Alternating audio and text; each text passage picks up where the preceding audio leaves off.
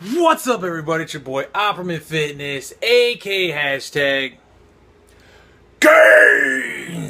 And today is gonna be an honest reviews video where I review a product and give my motherfucking honest opinion on it.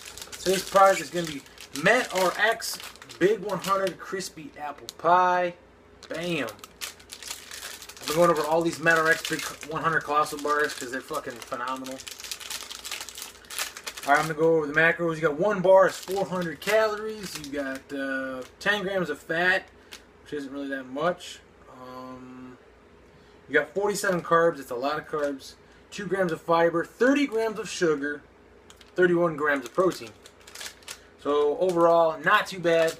Pretty high in carbs, but at least it's less in fat. 31 grams of protein is pretty good. So let's go over the uh, go over the taste review.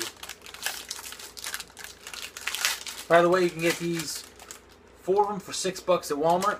Really good deal. They're really not bad as far as price at all. They're actually kind of cheap. What you got here is like a caramelized top, and then like a crispy, like Rice Krispies type deal in the middle, and then like a white coating on the bottom. Smells like apple pie completely.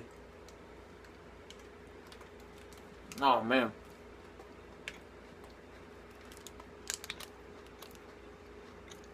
It tastes exactly like an apple pie. That's crazy. That's fucking crazy.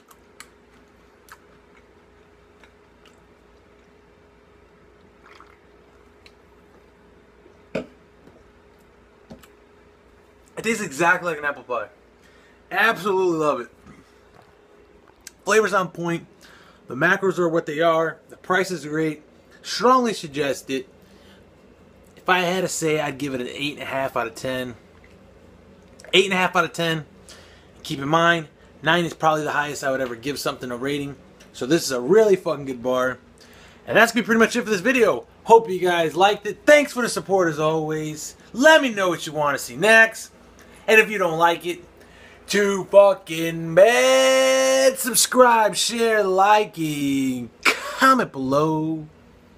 Scroll but don't troll. And don't hate me cause I'm fucking swole. And check you guys later.